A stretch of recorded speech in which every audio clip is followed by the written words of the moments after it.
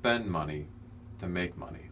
Mm, boy, we know, we know that isn't true at all. We Right. know from so much experience that that isn't true at all. How in the heck does that myth prevail? I, I don't know. To, well, to me, Jack, you know, it sounds like it's you know the, the idea of having to spend money to make money sounds like something that people say who can't convince you how the money you're going to spend is going to benefit you. Okay. So if you just throw that out and say, "I'm trying to convince you, Jack, that you should invest X dollars here," all right? And you know, you've thrown all kinds of objections my way. And, you know, I can't convince you otherwise. So I just throw it out there, and make you feel like you're an idiot. Hey, don't don't you know you got to spend money to make money, Jack? How do you refute that, right? Because it's out there. People have heard it. Have heard it said. So it's it's almost one of those things. People just drop that gauntlet down there and say, you know, you got to spend money to make money, Jack. Yeah, I think that's that's a good good insight. I think it it also it stops like so many things. It stops people from taking that next step and actually doing. So there's more reasons not to do, it seems, in the small business world than there are reasons to do. Right. And this is one of them. This is kind of the granddaddy of it all. You know, I can't search for companies. I can't to buy. I can't uh, start my startup because it's going to cost too much money.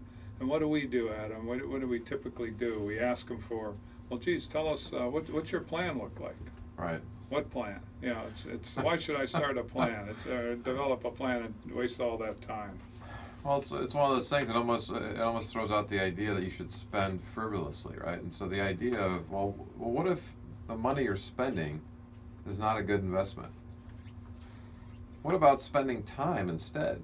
You know, you know we see this a lot, and we'll often talk about, it, especially when it comes to, to things like marketing. That's probably where, where this comes up a lot for folks.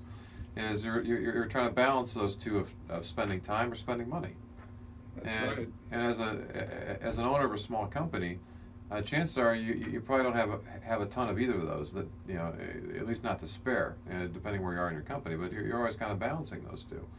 And so we'll often say, look, a couple things. One is spend a little more time. To your point, Jack, putting together a plan of here's what we're going to do. And if we're going to spend some money, let's make sure that we know what to expect from spending that money, not just spending it because well, that's what everybody's telling me to do. I got to spend money to make money. Don't don't find yourself uttering that phrase at all. That's right. If you do go as far as putting a plan together, however good it is, find somebody like us to bounce it off of. You know, one of our this comes to mind. One of our clients. He he uh, he's been on and off with us for probably three. may- I am always bad with this, but probably five years. And he's in the recycling business. He has a plan to get into the recycling business, and it's a worldwide plan, and it's a good plan. This guy's a natural born salesman. He, he in, in the sense that he's very outgoing, he's very charismatic, and he, he puts these plans together that are excellent. And he comes right up to the execution part, and he doesn't have money, and he never gets going on really taking his plan to the next step. So the last time we met with him, which was a few months ago, we said, What are you doing with all this big infrastructure in your plan where you're going to have trucks and collections and people? And why don't you just start and go with your natural talents, and that's selling?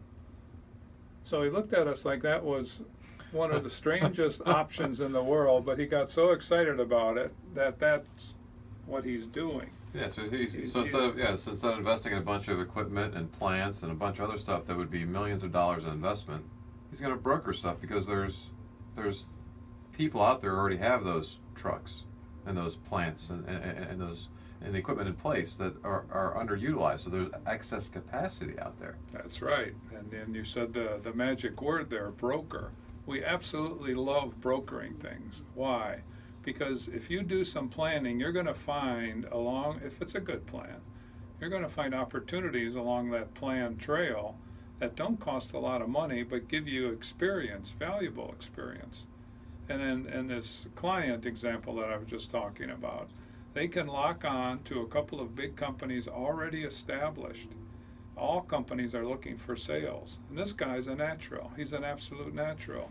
So why shouldn't he become a salesman for a company, learn, because he's, he's a sponge that way, learn all the ins and outs about spending the big bucks and why and where they go and what are the trials and tribulations of that, and then assess later if he even wants to start a business that complicated. Right, but you know, one, one of the hardest things to, to prove with, with any business model, because it's often on paper, is to prove that you can get sales. So one